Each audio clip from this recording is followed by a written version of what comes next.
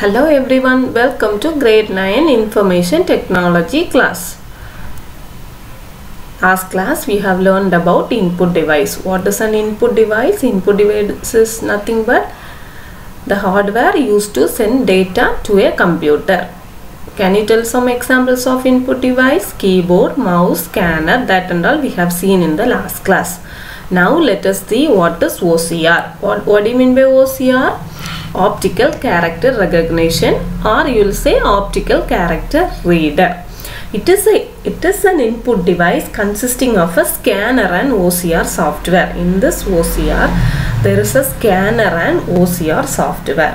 What the scanner will do? The scanner scanner is used to capture the text printed on a paper. The there is a scanner and a OCR software. The scanner will scan the paper and convert it the graphical text or image to machine readable form. What's the what is the use of OCR software? First the scanner will scan and the next the OCR software software will convert the graphical text into machine readable form. So even you scan that paper. If you want to edit something later you can edit using this OCR software. If, if you scan the document using OCR software you can later edit the uh, document.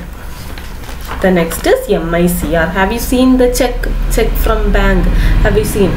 In that what it is this MICR is used for clearance of check and other important documents MICR stands for magnetic ink character recognition it is known as what MICR code so mainly it is used in banking industry it is an input device used to read the special characters. Have, you seen in the check at the uh, bottom some numbers uh, numbers will be there. So it is it is used to read those special characters. And this MICR recognize the font that has been set by American Bankers Association.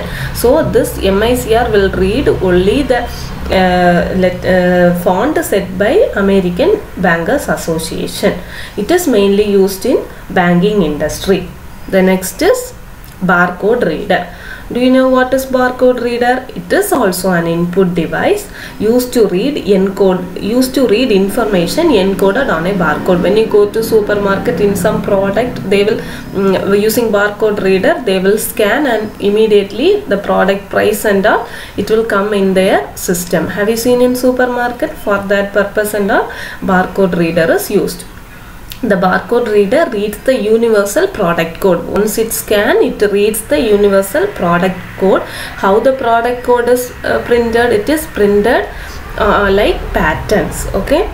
Printed on patterns patterns of bars.